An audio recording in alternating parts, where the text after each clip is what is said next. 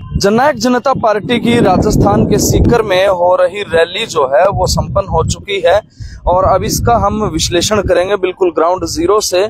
इनेलो की रैली कुछ ही पलों में और खत्म होने वाली है क्योंकि फारूक अब्दुल्ला जो है वो बोल रहे हैं, आकलन मोटा मोटा सा सभी आ चुके हैं। खरी खरी न्यूज़ से कुलदीप चौरान जी हैं। सर, किस तरह की से देखते हैं चीज़ें? एक कैथल में रैली थी, एक यहाँ राजस्थान में रैली थी। अब तो क्योंकि कल हम बात कर रहे थे कि कौन ग्राउंड भर पाता है, कौन इंडिया गठबंधन के नेताओं को जुटा पाता है, बहुत सारी ऐसी चीज़ें थी जो की फीचर थे इन दो रैलियों पर नज़र टिकी हुई थी पूरे हरियाणा की। देखिए उन्होंने जो रैली भीड़ के हिसाब से मैनेजमेंट के हिसाब से जेजेपी की सिक्कर की रैली सुपरहिट रही है, जो उन्होंने पूरी जो कुर्सियाँ लगाई थी, लगभग ग्यारह हज़ार के करीब कुर्सियाँ लगाई हुई थी। वो सारी कुर्सियाँ भर गई। इसका लगभग तीन चार हज़ार लोग और भी थे। मोटा मोटा यहाँ पर चौदह से पंद्रह हज़ार लोग यहाँ पर पहुँचे और जो है जो उसके हिसाब से और खासतौर पर महिलाओं की संख्या भी आपने देखी लगभग चार हज़ार करीब महिला भी पहुँची हुई थी। राजस्थान की रैली में महिलाओं का पूछना एक बड़ी बात है। इसके साथ साथ लगभग 200-400 मुस्लिम महिलाएँ भी थी। मैंने अपने 25 साल के करियर में पहली बार किसी रैली में महिलाओं को मुस्लिम महिलाओं की तो बड़ी संख्या में देखा है। तो उसके हिसाब से जेजेपी अपना लक्ष्य हासिल करने में सफल रही है और राजस्थान में उसने एक बड़ी एंट्री के ज़रिए उसने कहीं ना कहीं आज एक अच्छी परफॉर्मेंस करने का काम किया है। जहाँ तक इनेलो की बात है, इनेलो की रैली उतनी सफल नहीं हुई जितनी वो उम्मीद कर रहे थे। जो तीन पंडाल लगाए गए थे, उनमें से जो बीच का सेंटर का पंडाल था, वो भी 900 फुट का था। 900 फुट में से लगभग 700 फुट का वो भरा है 200 फुट का खाली रहा है। और साइड के जो 40 40 फुट के जो और पंडाल थे, वो पंडाल लगभग 50 परसेंट खाली रहे।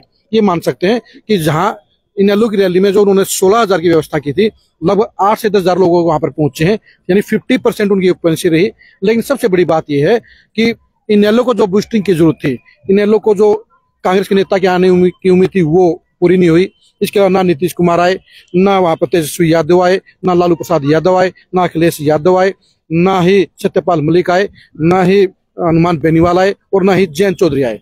यानी बड़े चेहरे जो आने जो रौनक होनी चाहिए थी वो रौनक नहीं बनी। तो आज कम से कम जो है, इनेलो के आज सपने टूटे हैं और उनके लिए ना तो भीड़ का टारगेट पूरा हुआ है और ना ही इंडिया गठबंधन में शामिल होने का सपना पूरा हुआ है। भीड़ की अगर बात करें तो ये आकलन आपने किया लेकिन अगर राजनीतिक एक दृष्टि से देखें इंडिया का बूस्ट जिस तरह से इन लोगों को चाहिए था आपने कहा कि ये जो बड़ी लिस्ट है ये नेता नहीं आए जिनके आने की उम्मीद थी अब नहीं आए तो किस तरह से देखते हैं? हाँ एनएलडी को मतलब चलिए रैली में भीड़ का तो एक अनुमान हो सकता है थोड़ी कम ज़्यादा है लेकिन इसका क्या फ़र्क पड़ेगा? सिंपल सी बात है इनेलो ने ग्रोथ की है।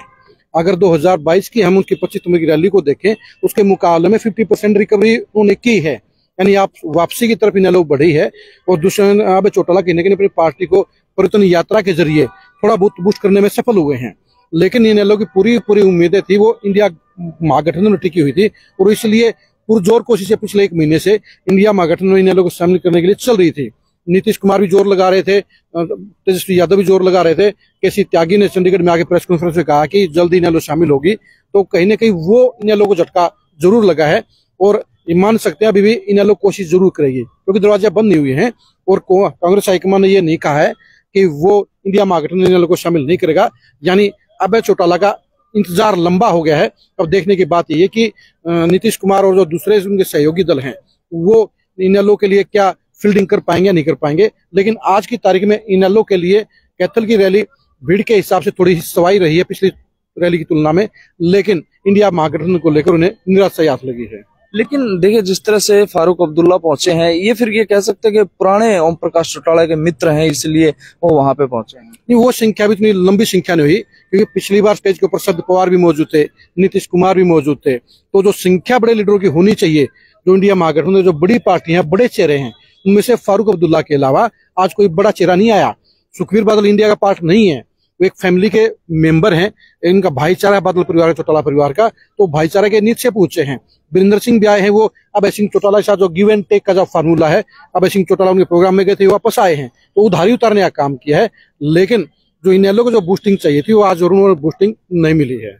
वीरेंद्र सिंह जिस तरह से बीजेपी में है, लेकिन उसके बावजूद भी आईएनएलडी के कार्यक्रम में पहुँचते हैं, अभय चौटाला भी उनके कार्यक्रम में पहुँचे थे, नाम बेशक ही पारिवारिक दिया गया हो, लेकिन ये आज की रैली तो जो थी, इनकी काफ़ी एक राजनीतिक हाइट्स लेके आने वाली थी। देखिए, आज देवीलाल जी का जन्मदिन था, उस पर हम सियासी तौर पर ही लगा सकते कि आपके भी इनेलो की या बीजेपी कोई बात थी। और पिछले प्रोग्राम में वीरेंद्र सिंह अभय चौटाला वहाँ पहुँचे थे चाणा में तो कहीं ना कहीं वीरेंद्र सिंह ने कहा भी था कि देवीलाल जी अब सबके लिए आदरणीय हैं, उस नाते से प्रोग्राम में जा रहे हैं और इसीलिए आज वहाँ पर पहुँचे हुए थे।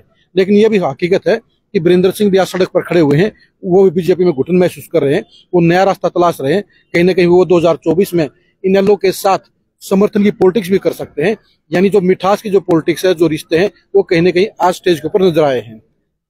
अगर सीकर की रैली की बात करें तो क्या लगता है यहाँ पे किस तरह की कुछ घोषणाएँ की गई? क्योंकि जेजेपी ने घोषणा की कि हम यहाँ से चुनाव लड़ेंगे। देखिए, इसमें दो चीज़ें हैं जो है। आज जो भीड़ के हिसाब से बूस्टिंग के हिसाब से बीजेपी के साथ गठबंधन के लिए शक्ति प्रदर्शन था, उसमें कामयाब हुए हैं। लेकिन ये भी सच्चाई है कि जेजेपी आज की तारीख में राजस्थान में सरकार बनाने की पोजीशन में नहीं है। तो इसमें इनके जो जो नारे दिए हैं, जो वायदे किए हैं, जो चुनावी घोषणाएँ की हैं, उनकी मैं कोई ज़्यादा वैल्यू नहीं मानता, क्योंकि आप सत्ता के दावेदार हैं, फिर आपके नारों के, आपके वायदों की जो है, कदर होती है, उनकी वैल्यू होती है, उनका वज़न होता है। लेकिन इस रैली के ज़रिए दुष्यंत चौटाला के जो बड़े बड़े नारे थे, वो दो अट्ठाईस और पैंतीस में ज़रूर कामयाब हो सकते हैं। लेकिन आज की तारीख में इन वायदों और नारों की कोई ज़्यादा वैल्यू नहीं थी। हाँ दिग्विजय चौटाला की अगुवाई में आज का शक्ति प्रदर्शन बेहद सफल रहा है। और अब शायद बीजेपी अगर जो पाँच सात सीटें ऐसी हैं जहाँ पर वो तीन चुनाव से जीत हासिल नहीं कर पाई है, उन सीटों पर अगर वो जीत हासिल करना चाहती है तो फिर जेजेपी के सहयोग से गठबंधन करके उसमें ट्राई मार सकती है। उसमें दोनों ही पार्टियों का फ़ायदा है। अगर एक लाइन में बात करें तो कैथल और सिकर क्या कंपैरिजन है? लास्ट कंक्लूड कर। देखिए दोनों रैलियों में जेजेपी ने बाजी मारी है और इनेलो पिछड़ी है और इनेलो के लिए आज निराशा हाथ लगी है। बिल्कुल बहुत बड़ी बात है। ये देखा आपने किस तरह से सिकर की रैली थी लाइव तो सारा कार्यक्रम आपने देखा।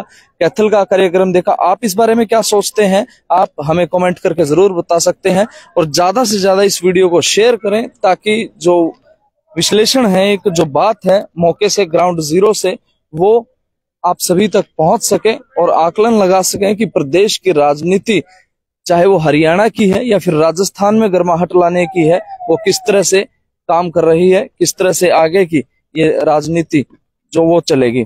लगातार अपडेट्स के लिए देखते रहें। नमस्कार।